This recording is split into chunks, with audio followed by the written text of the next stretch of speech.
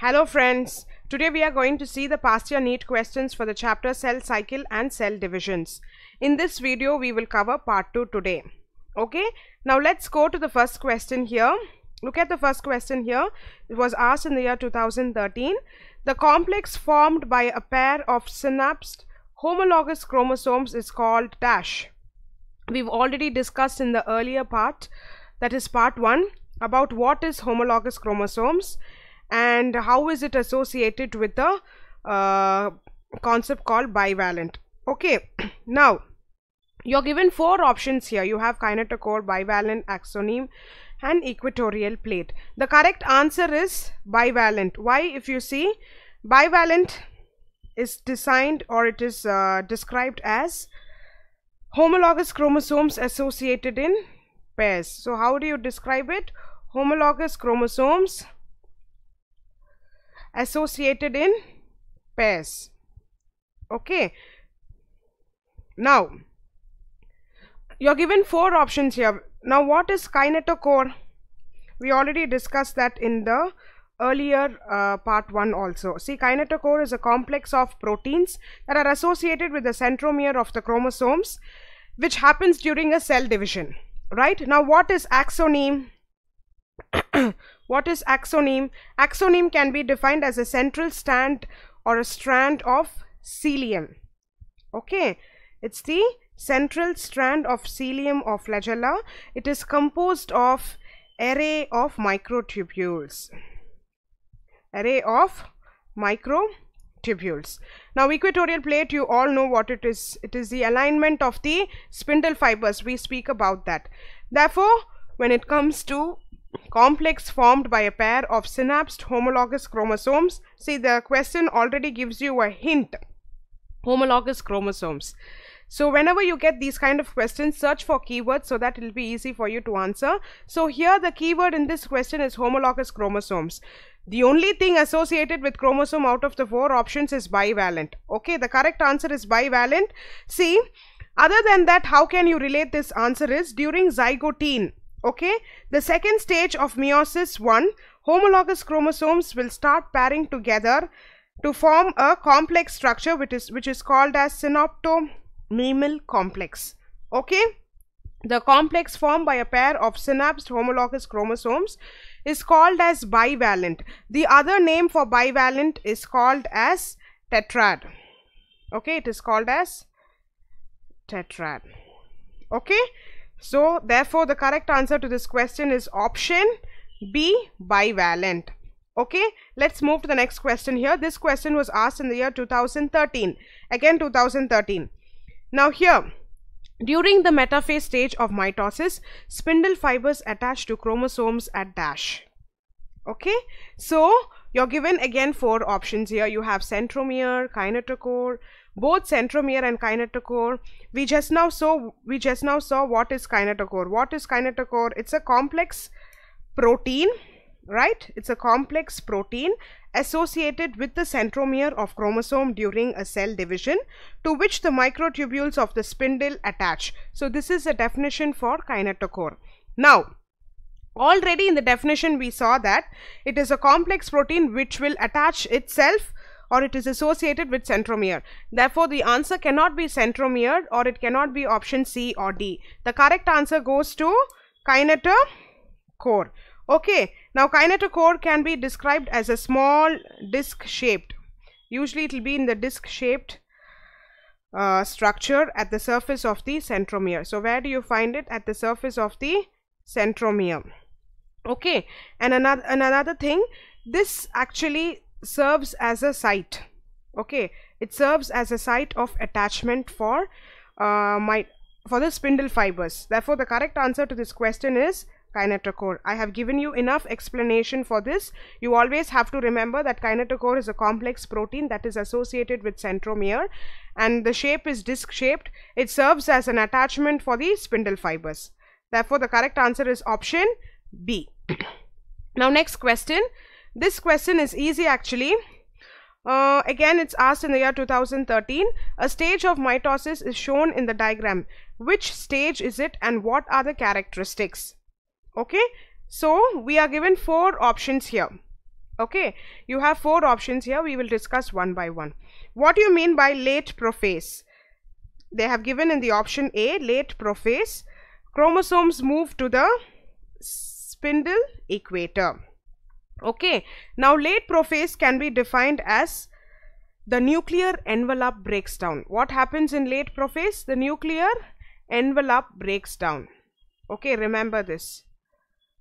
Nuclear envelope breaks down. I'm sorry it breaks down. Okay other than that the chromosomes will also get fully condensed during the late prophase so chromosomes move to the spindle equator is a wrong option. Therefore option a is wrong. Now coming to the next option metaphase. Now what do you mean by metaphase? Metaphase is a stage of mitosis. We all know that. And this occurs in eukaryotic cell cycle. Yes we know that. Apart from that what you can describe about metaphase is that it is a stage in which the chromosomes are at the second most condensed or in coil stage. Okay so what they have given in option B in the question metaphase spindle fibers attached to the kinetochore centromere split and chromatids separate. So what did we see in metaphase? The actual definition it is it is a stage in eukaryotic cells where the chromosomes will be highly condensed and coiled. Therefore option b is also wrong. Okay? Now the correct answer is option c. Okay? Now we'll discuss that metaphase chromosomes move to the spindle equator chromosomes made up of two sister chromatids right so in the previous uh, option b we saw that metaphase spindle fibers are attached to the kinetochores we said that the chromosomes are highly condensed and coiled. Apart from that, the chromosomes carrying the genetic material will align to the equator. Okay, simply equator or you can say it as spindle equator. Okay, you can say it as spindle equator. So once it gets aligned to the spindle equator, what happens here? What happens here? It will carry the, see, it is carrying the genetic information. Okay, what is carrying the genetic information the chromosomes are carrying the genetic information and next it will align to the equator of the cell before it gets separated into each which is the two sister chromatids therefore option c is correct okay now option d is again wrong. Anaphase centromeres split and chromatids separate and start moving away. No. What happens during anaphase?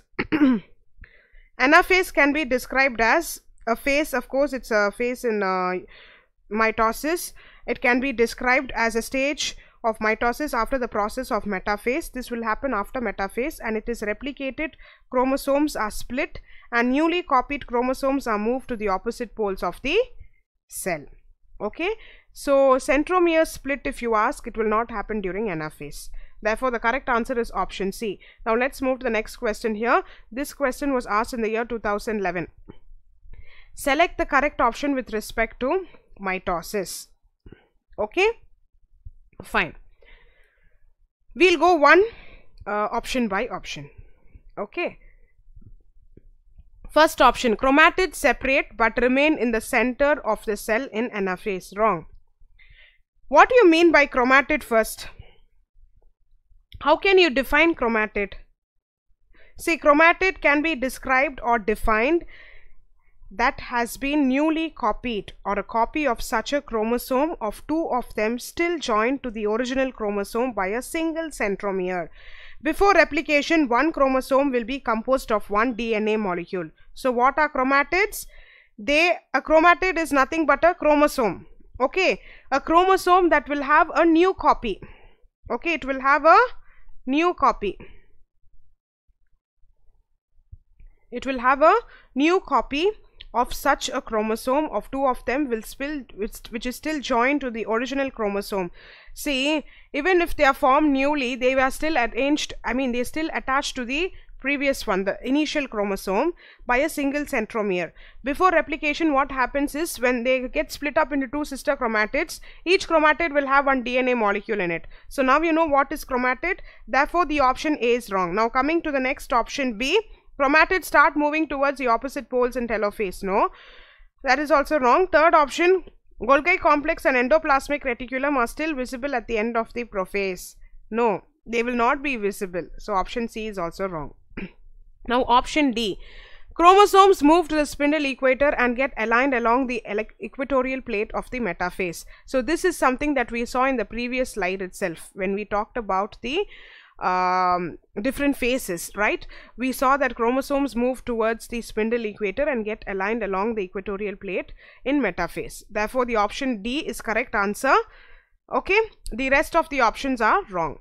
Now let's move to the next question here. This question was asked in the year 2011. Uh, at metaphase, chromosomes are attached to the spindle fibers by their dash. Again, this is an easy question, already discussed question. We saw in the last two slides uh, what happens during metaphase. During metaphase, what happens? The chromosomes will see to that they align themselves in the equatorial plate or the equatorial plane. So here, when they attach, they have to get attached to something uh, that will um, keep them adhered okay so either it has to get uh, attached to the centromere or it has to get attached to the kinetochore. And we already discussed it will not be attached to the centromere it will only get attached to the kinetochore because kinetochore is associated with centromere again. Whatever be the basis the attachment goes between kinetochore and centromere. Okay therefore the correct answer to for this question is kinetochores and we already discussed what kinetochores are. They are a complex proteins which are associated with the uh, centromere and their shape is usually disc shaped right? Disc shaped structure. And um, they see to the alignment of these spindle fibers okay? Now you understand what is it? And you can also describe kinetochore as a large protein okay? As a large protein. Therefore the correct answer to this question is option c kinetochores. Very easy question in fact Let's move to the next question here. This question was asked in the year 2010. Okay. During mitosis, endoplasmic reticulum and nucleolus begin to disappear at dash. This is an easy question again. We already discussed in the earlier slides. Um, we, we saw the correct options, right? Select a correct option. We discussed in that the Golgi complex, uh, what happens to the Golgi complex, endoplasmic reticulum, they get disappeared. So when will they disappear is a question. Is it during the late prophase or early metaphase, late metaphase or early prophase? Okay, see during mitosis, the endoplasmic reticulum and the nucleus begin to disappear at the early prophase. Also, nucleus and the cell become spherical and the DNA molecules will condense to form a shortened chromosome. Therefore, the correct answer is early prophase. Okay. Early prophase. So here you have to remember two things. What are the two things that you need to remember? One thing, when it will get disappeared, early prophase. Okay. The other thing, what happens? What happens during that phase? Also, the nucleus and the cell will become spherical in shape. Okay, spherical in shape and DNA molecules will get condensed. So, three points you have to get, you have to remember okay now you understand the question and the answer let's move to the next question here which stage of cell division do the following figures A and B represent respectively? So this question was asked in the year 2010. You have fig A and fig B. Okay, figure A and B. Now coming to the solution. So now look at the options given here. You have four options here. Uh, metaphase, telophase, telophase, metaphase, okay now coming to the option number one that is a. Now if you look at a it doesn't look like metaphase. You have the spindle fiber arrangement so it cannot be metaphase. Okay and in the option b if you see telophase it's obviously a is not telophase. And b cannot be metaphase. So the correct answer is option c. Fig a represents the late anaphase okay fig a represents the late anaphase and this will represent prophase. So what can you tell about late anaphase? What you know first tell me what is anaphase? Okay anaphase can be described as a process of metaphase which replicated or when a replicated chromosomes are split and newly copied chromosomes are moved to the opposite poles of the cell. So here if you see in the in the diagram you can see it has moved to the opposite. Right what has moved to the opposite? The chromosomes have moved to the opposite poles. Okay that is why we have considered this as anaphase late anaphase.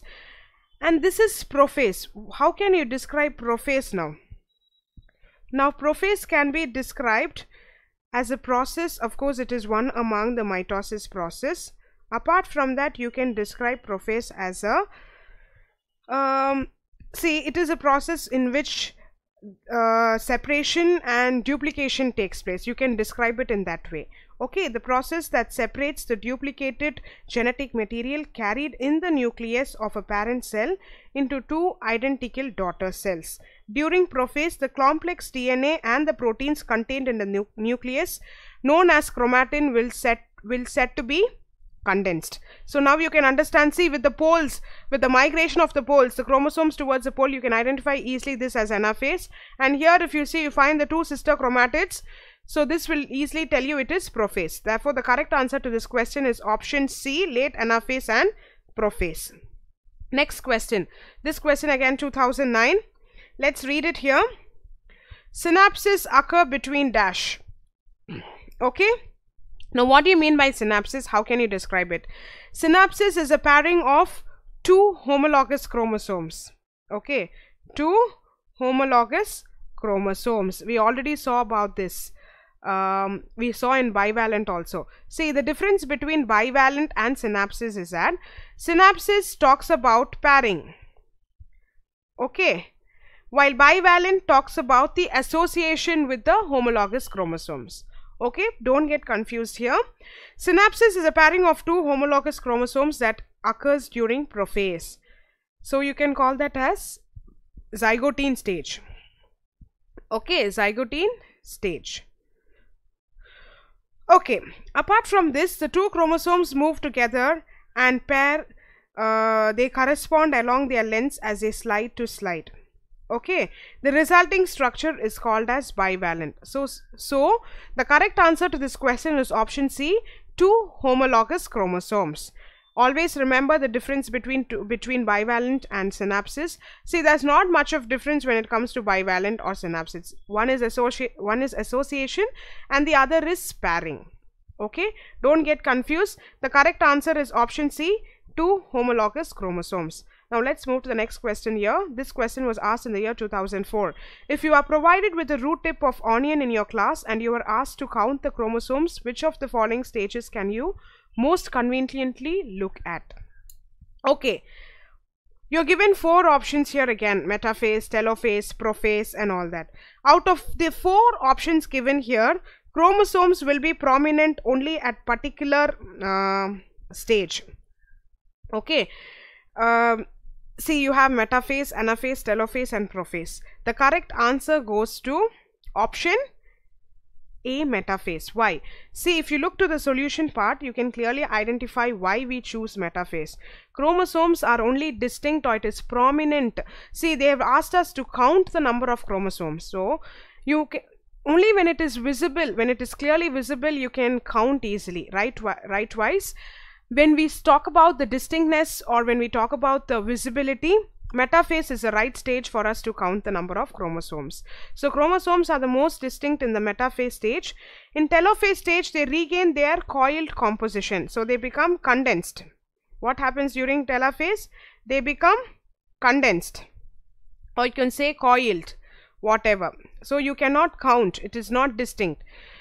In anaphase, the, the chromatids will separate and move towards the opposite pole. So what happens during the anaphase? The chromatids will get separated and will move towards the opposite pole. We saw in the previous slide, okay? We saw in the diagram, right?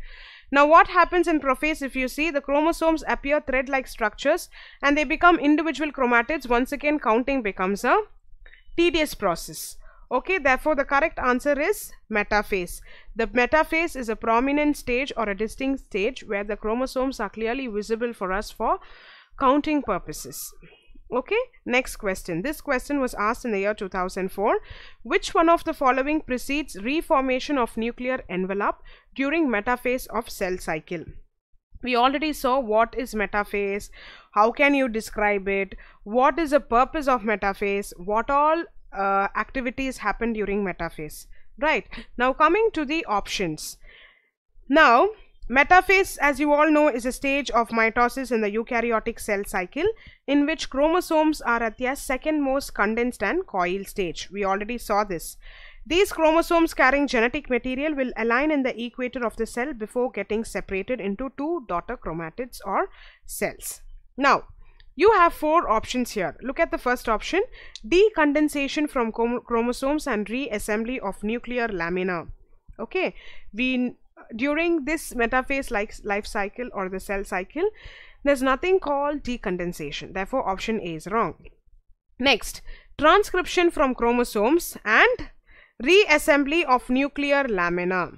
Okay, formation of contractile ring and formation of phragmoplast. Wrong. Formation of contractile ring and transcription from chromosomes. No, the correct answer is option B at the beginning of the metaphase or the mitotic phase. M stands for mitotic phase. What happens here is the nuclear membrane and the nucleolus disappear. What happens? The nuclear membrane and the nucleolus disappear okay remember this it's a very important point. The decondensation of the chromosomes will occur but when the nuclear envelopes start forming then the nuclear lamina assemble and chromosomes start condensing. So decondensation is occurring but it is not the whole process of the metaphase here. They are telling that decomposition of the chromosomes occur but once the nuclear envelopes start forming, then the nuclear lamina will assemble and the chromosomes will start condensing again. Therefore, the correct answer is option B, transcription from chromosomes and reassembly of the nuclear lamina. Okay, the correct answer is option B. Next question. This question was asked in the year 2002. Best material for the study of mitosis is in a laboratory. Okay, now you're given four options here. It can be anther or it can be root tip. Now what do you mean by anther? How can you describe anther? Do you know anything about anther? We already saw mitosis is very important uh, cell cycle and it is um, what are the functions or what are the activities that take place during my, uh, metaphase. Anther can be described as a part of stamen. Okay, it's a part of stamen. Right we all agree with that. It actually produces and contains pollen and is usually borne on a stalk. Okay so what is anther? It is a part of stamen. Okay and it produces and contains what? It contains pollen. It contains pollen. So where it is usually borne on the stalk of the flower So out of the four options given here, Anther is the best material to study the mitosis in the laboratory. It's easy for us to study. You have seen many, uh, when you have carried out experiments in your lab, people will ask you, your teachers might ask you to take the anther, segregate it and uh, view it under the microscope. So anther, if you see, the stamen of the pollen producing reproductive organ of a flower, collectively the stamens will form the androecium, that is the uh, that is, you're talking about the further part of the anther. So, the best materials to study about the mitosis is anther. Okay, anther cells are used to study mitosis. now, this here to your uh, right side, you have a picture which shows the root tip. See, root tip, when you don't have a choice or when you don't have uh, any other source to view or to study about mitosis, you can use a um, root tip also to study about it. But when you have an option of anther and root tip, it is always best to choose anther. Okay, when compared to root tip, anther will be more prominent and visible under the microscope. Okay, next question. This question was asked in the year 2002. If a diploid cell is treated with colchicine, okay, it is, it is called as colchicine, then it becomes what? Okay. Now, what do you mean by colchicine? How can you describe colchicine?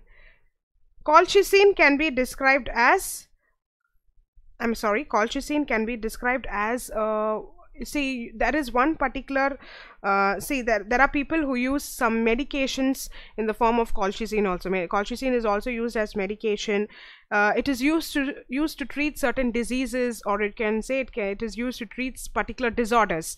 So colchicine is a medication used to treat especially gout you call that you call that as gout okay um the other name for gout, if you see, it's called as Behçet's disease. In gout, it is less preferred or you can call this as a steroid. You can call this as a steroid. Simply, it is a steroid. You don't have to see to the much, uh, uh, you don't have to go much depth, in, depth into it. Now, if a diploid cell is treated with colchicine, then it becomes DASH. Okay, as I already gave you an introduction of what is colchicine, See, colchicine inhibits the spindle formation. What does it do?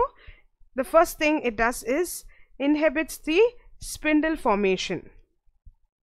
See, why is it used as a medication? I'll tell you. But first thing, it will inhibit the spindle formation due to which the chromatids are unable to separate during the anaphase, which will result in doubling of chromosomes. So, if a diploid cell is treated with, colchi with colchicine, there is doubling of chromosomes and it becomes so what happens when it doubles? I've given you a clue. When it becomes see when the chromosomes doubles it becomes tetraploid right?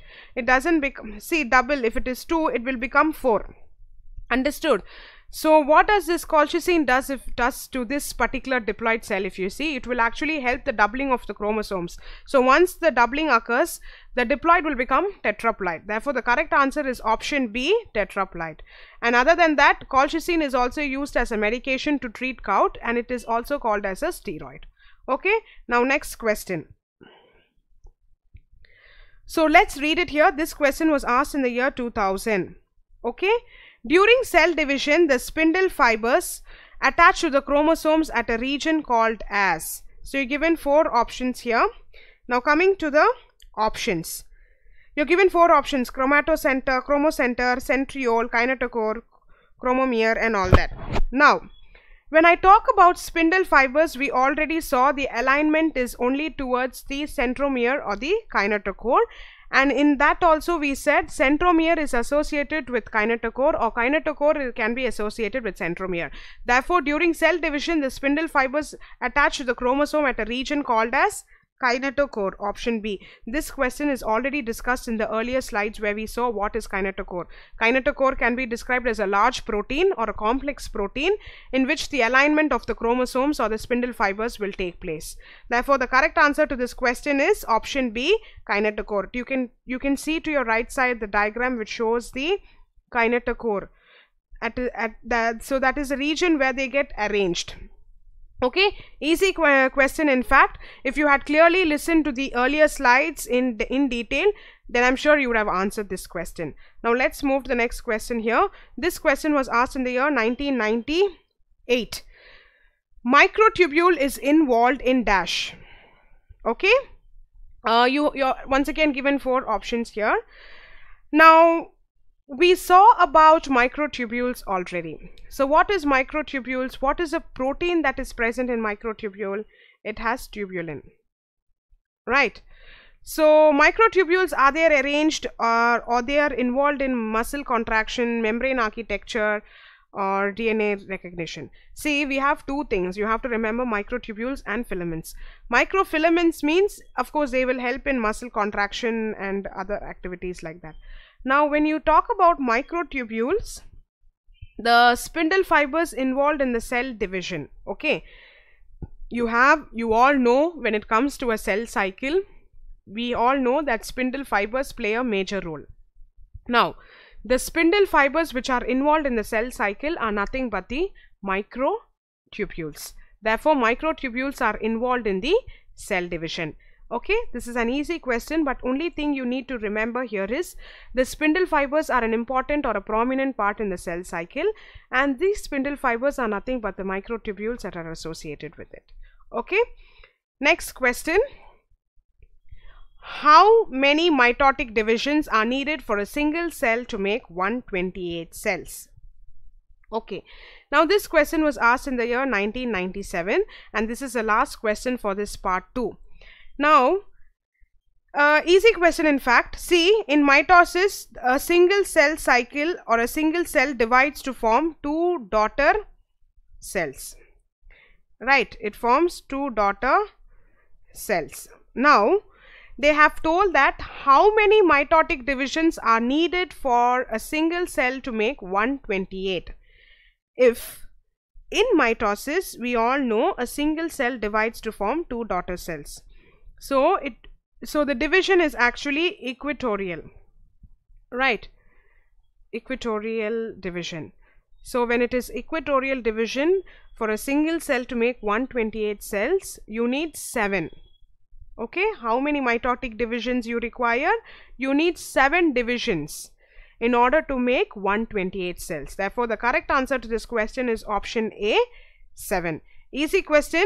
In mitosis, you always have to remember single cell will divide to form 2.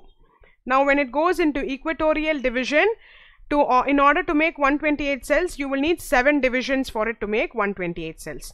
Therefore, the correct answer is option A. Okay. So, with this, we complete part 2. Uh, we will all meet in the next part 3 of the same chapter cell cycle and cell division. Until then, take care and thank you.